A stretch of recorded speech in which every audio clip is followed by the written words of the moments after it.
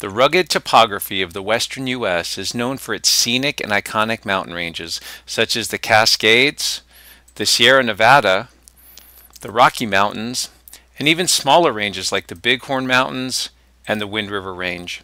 Yet among the hundreds of mountain ranges in the western U.S., one stands out as a complete oddball Notice that by and large, most of the mountains trend northerly, sometimes more northeast or northwest, but generally the mountains run north-south. Yet the biggest outlier of this trend is the east-west trending Uinta Range of northeastern Utah. In this video, we'll explore the fascinating geologic history that explains why the Uintas run east-west. But before we do, let's take a look at this interesting mountain range. So the Uinta Mountains span about 100 miles from east to west in this uh, part of northeastern Utah. They run almost at a 90 degree counter angle to the Wasatch Range, which runs mostly north-south here around Salt Lake City and the Great Salt Lake. Elevations in the Uinta Mountains range from about 8,000 to a little over 13,000 feet, and they also include the tallest peak in Utah, which is Kings Peak. This mountain range is also significant because it forms the headwaters of several major rivers that feed the Great Salt Lake, most of which flow from the western and northern edge of the mountains, the Weber, Provo, and Bear rivers. Like a lot of the tall mountains in the Intermountain West, this area was heavily glaciated during the last glacial maximum around 15,000 years ago. And the rocks of the Uinta Mountains contain rocks that you find nowhere else, which makes it particularly captivating. This is a graphic showing where glaciers were in the Uintas during the last glacial extent about 32,000 years ago. You can see these tongue glaciers coming down the drainages, the crest of the Uintas running right through this region here. Um, these glaciers formed large U-shaped valleys which are still visible today. And the ice in the Hyatt country carved uh, narrow ridges, bowl-shaped depressions, and jagged peaks, creating just a fascinating wonderland of high alpine terrain in this glacial setting. So now let's dig into the story of the Uinta Mountains by starting way back in the Precambrian, about 2 billion years ago, when western North America was growing due to collisions between small crustal blocks. One such collision occurred right along the southern edge of the Wyoming Craton and is called the Cheyenne Suture Zone. You can see this also is where the Uinta Mountains are today. So during this time in the Precambrian, we had blocks of continental crust that were colliding along various subduction zones, amalgamating together, and eventually growing our continent larger and larger. Now, these suture zones, like the Cheyenne Suture Zone here, contain faults or weaknesses in the crust that accommodate motion. And it's this discontinuity in these rocks that set the stage for the next important event in the story of the Uinta Mountains. So while the amalgamation of these blocks was helping to build North America, globally there were entire continents that were colliding together. And by about 1 billion years ago, these collisions had assembled a supercontinent called Rodinia. Using magnetic signatures left in rocks along with other evidence, geologists have determined where these modern where the modern continents of today fit within this ancient landmass. North America, which was once called Laurentia at the time because it contained parts of Western Europe, laid at the center of Rodinia and also straddled the equator. Antarctica and Australia were attached to what is now Western North America and more or less close to the location of the modern Uinta Mountains. This huge landmass existed at a time when there was primitive, mainly bacteria and algae life forms. And there were also no plants on the land, so it was a very different time in Earth's history. Now, like all supercontinents, Rodinia's existence was fleeting. It began to break apart around 800 to 750 or so million years ago. As the supercontinent was extended, the crust broke along normal faults, these breaks in the crust here shown in my diagram. And the normal faults accommodated down-dropped motion in the intervening space, forming a basin and these are known as rift basins. Sediment carried by rivers, streams, and sometimes wind began filling this depression, eventually reaching over 16,000 feet or 5,000 meters in cumulative thickness. These sediments lithified into the rocks of the Uinta Mountain Group, and they contain rocks like conglomerate, sandstone, shale, and mudstone. This unique package of rock only exists in the core of the Uinta Mountains. Let's head out into the field and see these rocks up close and examine some of the evidence that helps us determine just how these sediments were deposited. Well, let's take a look at the Uinta Mountain Group here in an outcrop near Sheep Creek and see if we can look at some clues from the field to help us figure out exactly how this package of sedimentary rocks formed. What was the depositional environment?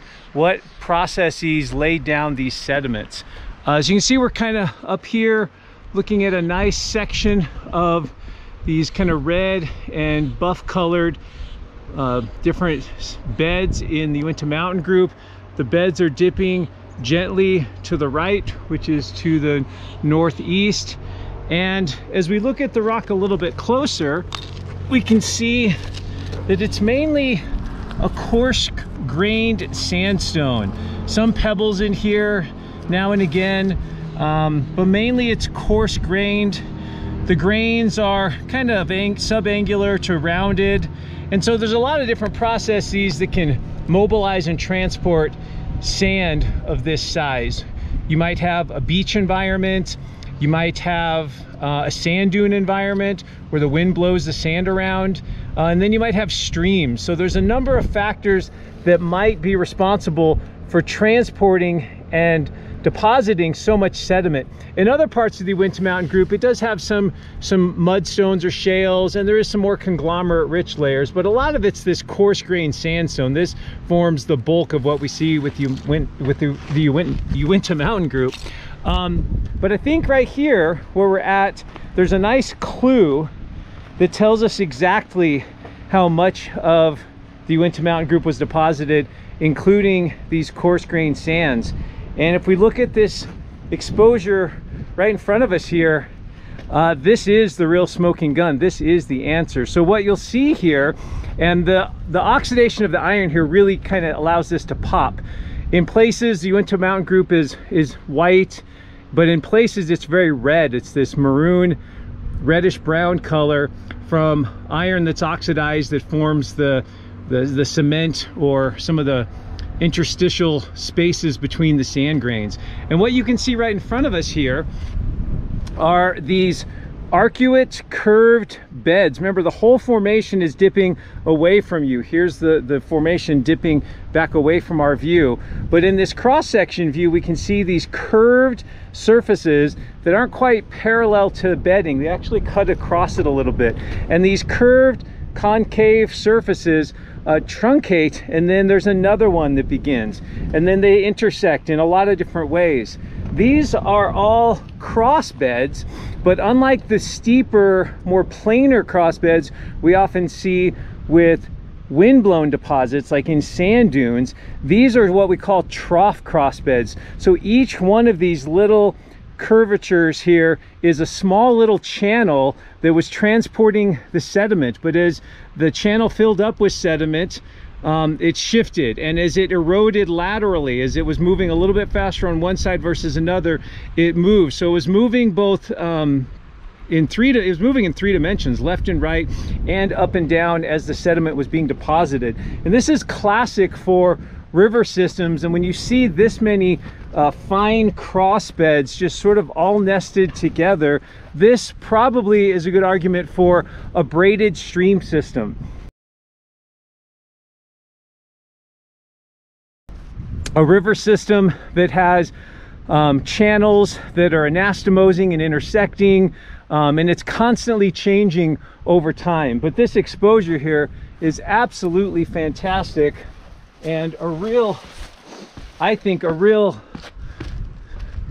really indicative of exactly what the depositional environment was for this part of the Uinta Mountain Group and just some great field evidence as we look at these trough cross beds within this section of the coarse grain sandstone.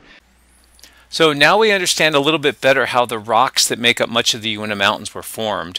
But how did the Uintas transform from a low area, a rift basin that filled with sediment, into Utah's tallest mountain range? For that, we need to pick up the story after the Uinta Mountain Group was deposited. Once the basin was filled and some period of erosion occurred, much of western North America was below or at sea level for a long period of time, stretching from the Cambrian period about 530 million years ago all the way to the Cretaceous period about 80 million years ago. During this period of relative quiescence, dozens of layers of sedimentary rocks were deposited across the region, one atop the other, forming many of the colorful and iconic rock layers found in Utah and other neighboring states. These rock layers buried the Uinta Mountain Group beneath thousands of feet or meters of rock.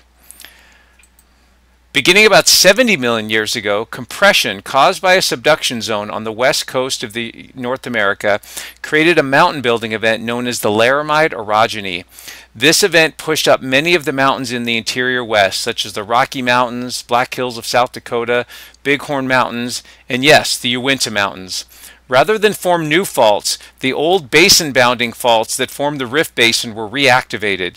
These previous normal faults became reverse or thrust faults as they accommodated the compressive stress of the Laramide orogeny. In the process, the Uinta Mountains were born, and the previously buried Uinta Mountain group present between these faults was pushed upwards. The younger overlying rocks were gradually eroded, and eventually the Uinta Mountain group was exposed, forming the main rock unit present in the range today. Hope you enjoyed this fascinating story on the geologic history of the Uinta Mountains, why it's an east-west mountain range. Uh, appreciate your support of the channel. Be sure to like, share, and subscribe. If you'd like to donate to the cause, there are links under the video description, as well as the thanks button located to the bottom right of the viewer. Thanks for your time.